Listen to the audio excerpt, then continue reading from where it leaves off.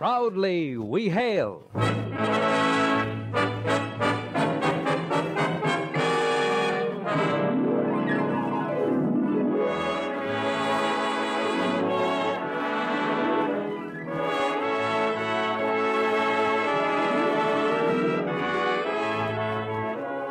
From New York City, where the American stage begins, here is another program with a cast of outstanding players.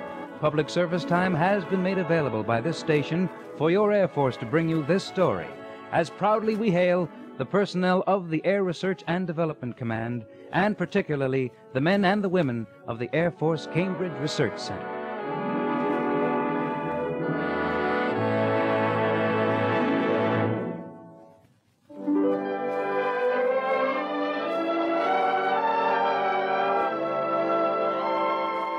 Our story today is called Threading the Needle, and it's the story of Technical Sergeant Tom Giddings and Airman Second Class Janet Bell, and a project they worked on called Volscan. We'll hear about this in just one moment. But first, many times a man is skilled in a particular job, yet he's unable to find a use for it. Has this happened to you? Are you a service veteran with a service gained skill that's just going to waste? Well, if you are, then you listen, because you may be able to put that skill to work as a member of the United States Air Force. The Air Force needs experience and know-how gained in all the armed forces. If you possess one of the critical skills needed to keep America's air defense strong, you can put that experience to work in the Air Force and do so at a higher grade and with higher pay than you may realize. For full details, you write or visit your Air Force recruiter. Ask for the prior serviceman's folder. This folder will show you why, today and tomorrow, you're better off in the United States Air Force.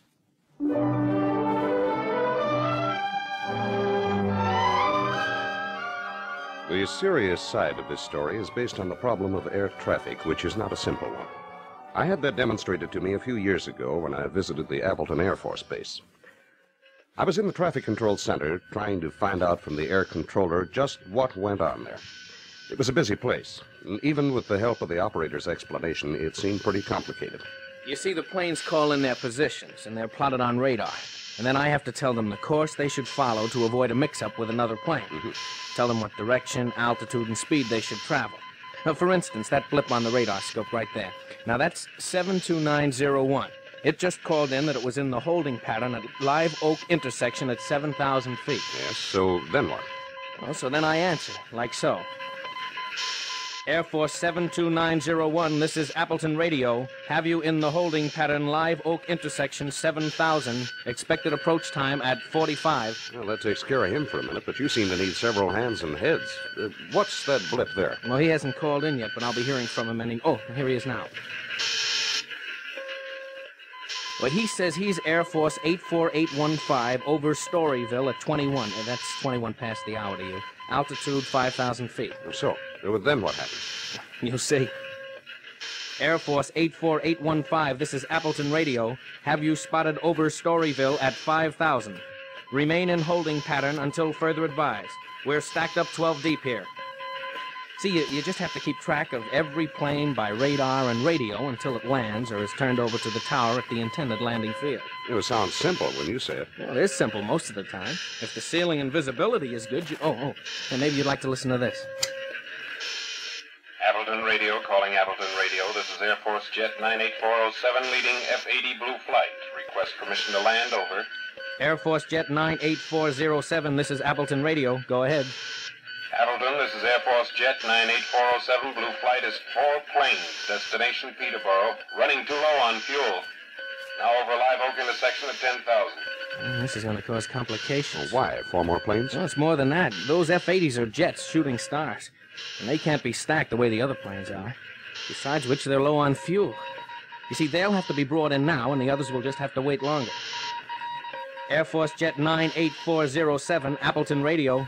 Have you plotted now? Appleton Radio, this is Air Force Jet 98407 leading Blue Flight. Request immediate landing instructions. Air Force Jet 98407, Appleton Radio. We're stacked up here, but we'll clear a space for you at once. Turn west to a 270 degree heading. Start let down now at 1,000 feet a minute. Call upon reaching 8, 5, and 3,000. Out. That's the way it was a few years ago. That's the way it is now in many places. The aviation industry, and particularly the Air Force, was faced with a crisis. There were too many planes in the air, and there wasn't room for them all when they started to come in for a landing. In Washington, the problem was talked over at a meeting of the Air Navigation and Development Board. This is a group that was established a few years ago to develop a common civil military system of air navigation and air traffic control. Reading from the minutes of the meeting, a military representative said, I think it's our problem, a military one. Our planes fly faster. We fly in groups, so we have many planes wanting to land at the same time. A civilian representative said, Our civilian planes are slower and can be scheduled more easily, but even so, they arrive from many different points, and there are logically popular hours of arrival and departure which crowd the landing areas. A military representative said, Unlike ground traffic, we have to keep moving. We can't stand still. We can't park and wait. A civilian representative said, There may be as many as 25,000 planes in the air over the United States on any one day, and every plane that goes up comes down. And there are more aircraft in the air every day. And a larger percentage of these planes are jet propelled. There was the problem for everyone to see. It was talked about, thought about, worried over. Various plans and ideas were considered. Finally, the problem was turned over to the Air Research and Development Command. They were told, here it is. Do something about it.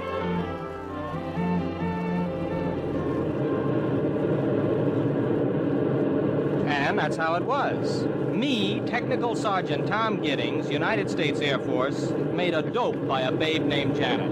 That's just like him. Yeah. I hear the same story all the time, except for my Dolly. Must be something wrong with her. She's just got eyes for me. Well, I guess that takes care of that. You can't get 'em like that anymore nowadays, so from now on, I am staying away from dames. Now, how are you going to do that? Well, for one thing, I'm being sent to this research laboratory as an instructor, and there won't be any women around. Oh. I'm going to keep busy, and I won't have anything to do with them.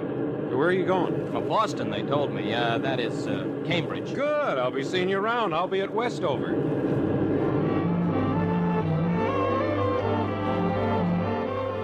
You'd better explain it to me as though I didn't know anything about it, which is close enough to the truth. I know that you men here at the Air Force Cambridge Research Center have been working on a method for scheduling a large number of planes so they can be brought in for a landing in a hurry. Uh, I've got to write a radio script on the development, Major Andrews. You promised to help me out. All right. The present system for bringing in planes using radar and radio equipment is still based on human abilities and capabilities. A skilled team of manual operators with cool heads and lots of experience is able to direct the landing of about 40 aircraft an hour for a short time. And that isn't enough. So we've come to the conclusion that the bottleneck is to be found in the human factor, the limit of the normal brain to take in and act on large amounts of information quickly and without fatigue.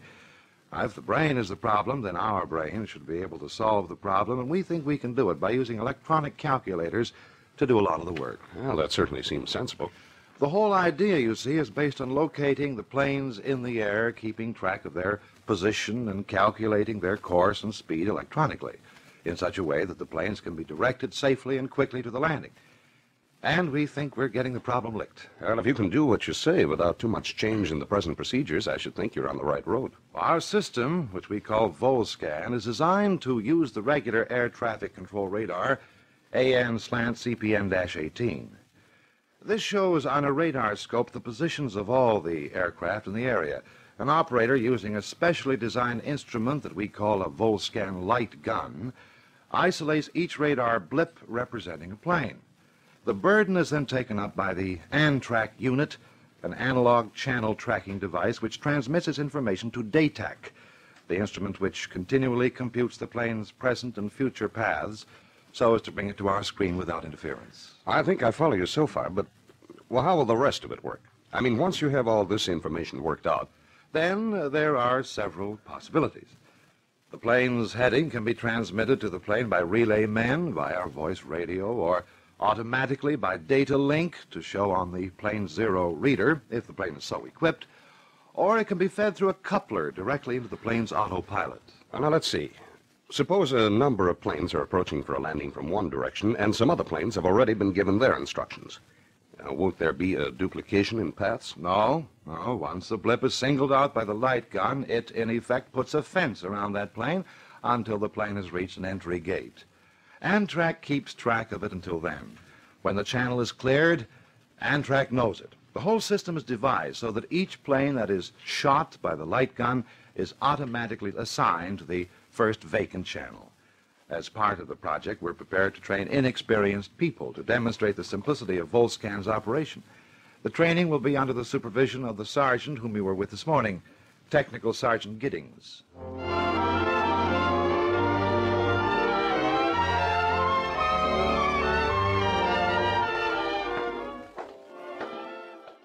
Oh, I was, uh, told I'd find my training class in here. Well, this is room 132.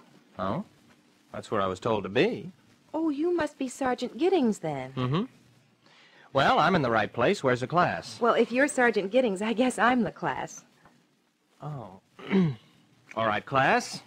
We, uh, have our work cut out for us. We better get to it. W- what's the matter? Did you expect a larger class? My other ones are larger.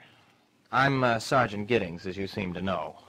Tom Giddings. Airman Second Class Bell reporting, sir. Janet Bell. No, not another Janet. well, now, as you probably know, we are here to learn about the operation of Volscan, which is a new development designed to enable a large number of aircraft to be scheduled for landing safely and in a short time. Now, what do you know about traffic scheduling and control? Well, practically nothing. I think I must have been chosen to be your pupil, Sergeant, to see if you could teach me. Because if you could teach me, you could teach anyone, or anyone could learn. You know, if you'd said you knew all about it, I'd be apt to argue with you and show you that you didn't. But since you tell me you're ignorant and hint that you're stupid, I'll just have to prove to you that you're wrong. Negative type, aren't you? No, not necessarily. It's just that. Well, I've been in the Air Force for several years now, and I've learned a thing or two in that time. And if there's one thing I've learned, it's this. They do a lot of things I can't understand at the time, but later I find out that they had a good reason for it. Well, I hope you find a good reason for this time. Well, I imagine I will. But before we start, there is one thing we have to get straight. Now, you seem to be my only pupil for this class, which means I'll be seeing a lot of you. Every day, I guess. Now, it doesn't mean anything. I mean, it's strictly in the line of duty. This is just business, all business. Oh, of course. I might say the same thing to you. We'll probably get to know each other pretty well, but that doesn't mean we have to see each other when off duty. Remember, I'm in the Air Force just as you are. As a career. Well, that's good, that's good. You sound sensible. Now, let's see what we can learn about operating this thing.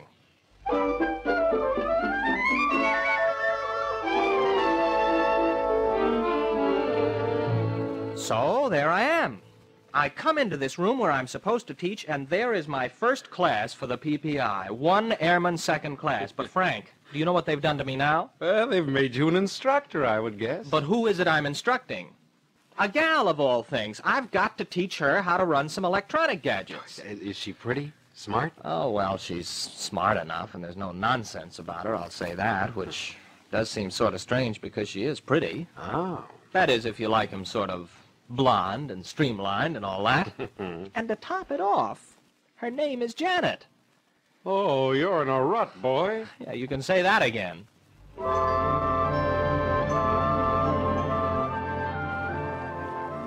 no, you're all wrong, Grace. It's fascinating, just because you don't like anything to do with electricity.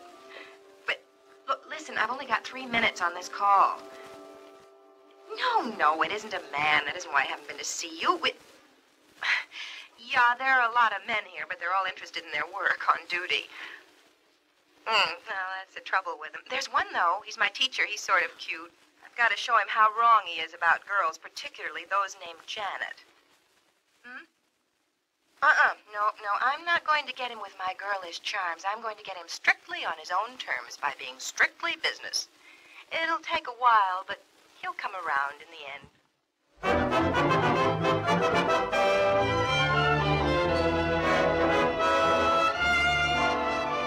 You are listening to Proudly We Hail and our second act curtain in just one moment. Here's important news for all ex servicemen. You may be qualified to enlist in the United States Air Force at a higher grade and with higher pay than you realize. The Air Force needs men who are experienced in critical skills required to keep America's air defense strong. If you have training in these skills, then the Air Force wants you, and they'll put you right on the job. So for full details, you write or visit your nearest Air Force recruiter right away. Ask him for the folder for prior servicemen. Today and tomorrow, you're better off in the United States Air Force.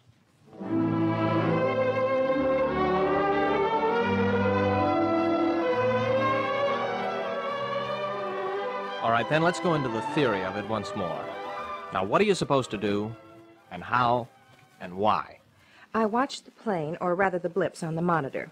Then I use the Volscan light gun and shoot each blip separately. That selects one track for each one on ANTRAC. Mm-hmm. I can have seven tracks being watched over at once by one ANTRAC unit, but after seven it won't take anymore, so I have to switch to the next ANTRAC unit. And what happens if you try to assign more than seven tracks at once to ANTRAC? Well, it just won't accept them. Hmm. I get signaled that it's full and switch to the next one. But as soon as any one plane gets to the entry gate, its channel is released and I can assign another plane to it. That's right. Then what happens? ANTRAC follows the plane and works out its position and feeds the information to DATAC, which computes the ratio between the plane's speed and course and the speed and course the plane should have, so it'll reach the landing field at the proper time. Uh, oh, to delay the plane's arrival, the plane is swung farther away, so it'll take longer. Listen, Tom, I know the theory of ANTRAC and DATAC, but I don't know how that light gun works. Wouldn't it be better if I did know? No, you're right. You probably would be able to do a better job. You see, the light gun isn't really a gun. It's just shaped like one, but it doesn't shoot anything. Now, when you want to assign a tracking gate to an aircraft, you point the gun barrel at the blip on your scope. Now, the blip shows brightly for only the smallest fraction of a second, once every four seconds. Now, this momentary flash of light passes down the barrel, strikes a photocell in the butt of the gun, animating the photocell to generate a pulse of electricity which is amplified and applied to an ANTRAC. Now, this puts a fence, you see, around the blip representing the plane and causes ANTRAC to start following the plane. Do you follow me? Well, more or less. Now, this action, for all practical purposes, is instantaneous. Everything has moved at the speed of light and electricity. So the ANTRAC unit receives a picture of the plane's position as represented by the blip and centers the gate on the target. Mm-hmm. Now, the next time the blip appears, ANTRAC measures the error between the center of the gate and the blip and continues doing this. Remembering these errors for 20 seconds or so, the electronic circuit memorizes a voltage that represents the plane's speed. If the speed of the blip and the gate coincide, the error drops to zero, and the gate stays centered on the moving blip every time it appears. See, that's the way ANTRAC tracks or follows the aircraft as it moves across the sky, by the blips that move across the PPI scope. Hmm. Well, thank you. I don't know if I understand it better, but I should. You're certainly very patient. No, not really. You're a much quicker student than a lot of the kids in my other classes. All that malarkey you tossed me when we first started was just that. Malarkey. Oh, no, it wasn't. I meant everything I said. Oh, come on. You tried to let on you were a little slow or dumb or something. You're not. Oh, that. What did you think I was talking about? Oh. Oh, the other. Well, that was the way you wanted it. I wanted it. You were laying down the rules. Oh, now look, don't get me wrong. I Is just the meant. lesson over for today? Yes, Thank you. Goodbye. Tomorrow? tomorrow morning. Uh, tomorrow morning we're through with the theory. Tomorrow you start with a plane.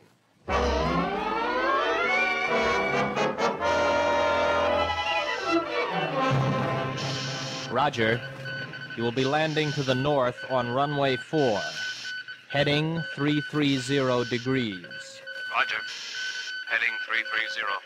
Start letting down 1,000 feet per minute. Maintain airspeed while descending. Maintain airspeed.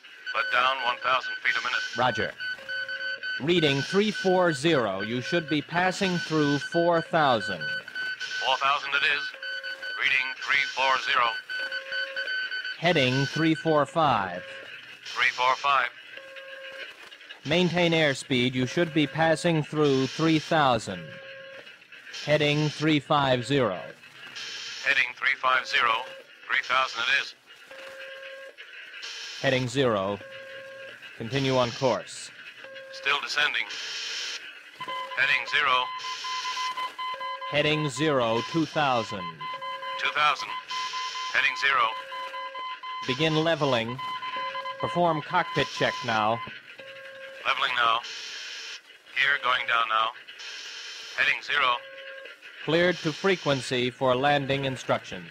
Out. Roger. Turning to tower frequency now. You know, I could follow every step of that on my scope. It's thrilling. Well, more than that, it works. And so it went. Day after day, landing after landing, with one plane and with many. Checking, testing, making sure there weren't any bugs to be removed from the system. Rechecking and retesting so that the performance became semi automatic. You know, maybe there's something wrong with me, but I find this just as exciting as I did the first time. I wish we could test it on something bigger. Oh, what do you want, a B-52? No, silly. I mean, well, for a long time we tested with one single plane, then with two, and then four. Now we know we can make this work for large number of planes. Look, Janet, we can't recommend this for operational use until we've tried it so often we know it will work every time. But we seem to be doing it under laboratory conditions. We try it under all the conditions we can think of. I know. I know we're trying all different conditions, but these are conditions that somebody has planned. I'd like to see it just once when we have to ad lib. Wait, wait, let's leave well enough alone.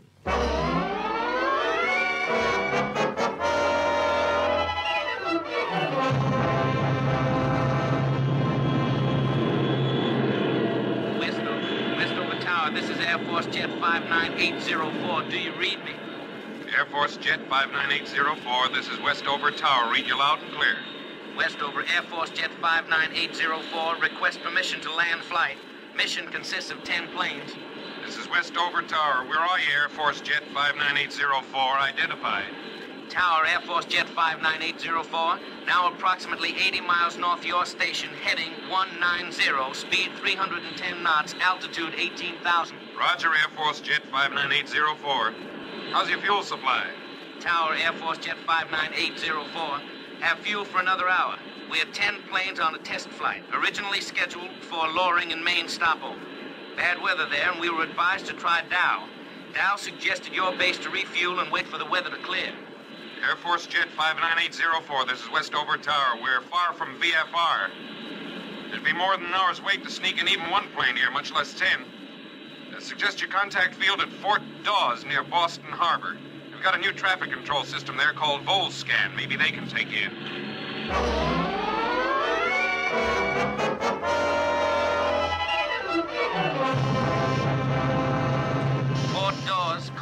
Calling Fort Dawes. This is Air Force Jet 59804, calling Fort Dawes. Do you read me? Over. Tom, what's that? We're not expecting. Air Force Jet 59804, this is Fort Dawes. Read you loud and clear. Over. Fort Dawes, this is Air Force Jet 59804. Request permission to land. Had alternate landing instructions for Westover, who suggested your field and said you had a new method of traffic control. Now, can it take in anyone without special equipment? Air Force Jet 59804, this is Fort Dawes using Volscan automatic control. We'll bring you in. You need no special equipment. It's all here on the ground. Locate. Fort Dawes, this is Air Force Jet 59804 and F-86 at 20,000 feet, approximately 60 miles west of your station, heading 080, speed 260 knots. The mission is composed of 10 planes. Air Force Jet 59804, this is Volscan automatic control. Have you in radar contact now? Throughout landing operation, you will be Red 1. Repeat, Red 1. Change radio to secondary 1 and call in. If no answer, return to this primary frequency. Over. Red 1 going to secondary 1. Hello, Volscan. This is Red 1 on secondary 1. Do you read me? Over. Hello, Red 1. Read you 5 square. How do you read me? Over. Read you loud and clear, Volscan. What now? Red 1, hold heading and maintain 260 knots. We will bring you and the other planes to the entry gate as though we were on GCA. At the entry gate, at approximately 2,000 feet and two miles from the runway, we'll turn you over to GCA for final approach and landing instructions as we're socked in. Over. Follow you so far, Volscan. Go on. Over. This may be a different approach than any you have made before. You will be landing to the east on runway 8. Instructions will reach you and the other planes in your mission periodically. Normally, you need not acknowledge all messages, but as this is your first landing with Volscan, you will acknowledge. You and your planes will be scheduled into the entry gate at approximately 30 second intervals. So you should all be on the ground within five minutes of each other. Over. Roger, Volscan. Red 1 ready and waiting. Over. Red 1, right, heading 100. There will be pauses between instructions to you, during which time instructions... Red 1, continue right to 165 degrees. Level off at 2,000 feet for cockpit check and slow to final approach speed. Roger. Red 1 heading now 175. Red 1 should be leveling at 2,000. Perform cockpit check now. Check gear down and locked. Acknowledge, please. Over. Going down now. Red 1 heading now 180. Red 1 now 185. Red 1 back to final heading 180 degrees. Change to GCA secondary 5 and call in for final approach. Control out. Roger. Gear down and checked. Switching to GCA secondary frequency 5. Listen, after I check in, I'd like to look over your control setup. Out. Glad to have you, Red 1.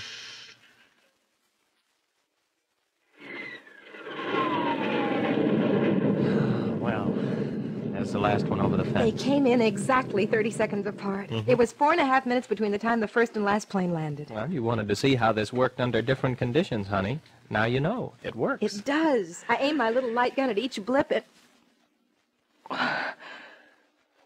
Tom, you kissed me. You're a smart girl. You could tell right away. Well, it does work, doesn't it? Yeah. Hey, you didn't aim that light gun of yours at me, did you? I did not. I didn't think I'd have to use electronics to bring you in. No, you didn't. Nothing as fancy as that. Just plain old-fashioned magic. The feminine kind. Well, that's my story about Volscan. A vastly significant development of your United States Air Force to make flying safer for everyone. And about a young man and young woman who were privileged to share in its beginning.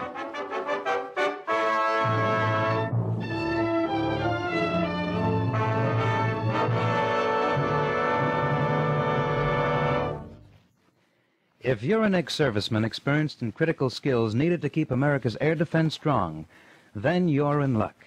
If you possess one of the skills the Air Force needs, you may be qualified in the United States Air Force and in a grade that'll be a real pleasant surprise. For complete details, write or visit your Air Force recruiter. Ask for the special prior serviceman's folder. See what a return to the service as an airman can mean to you. Today and tomorrow, you're better off in the United States Air Force.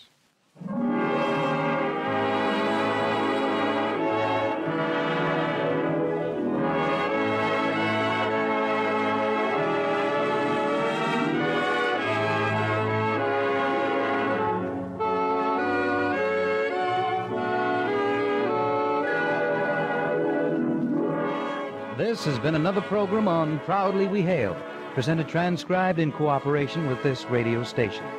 Proudly We Hail is produced by the Recruiting Publicity Center in New York for the United States Air Force, and this is Dick Herbert speaking, inviting you to tune in the same station next week for another interesting story on Proudly We Hail.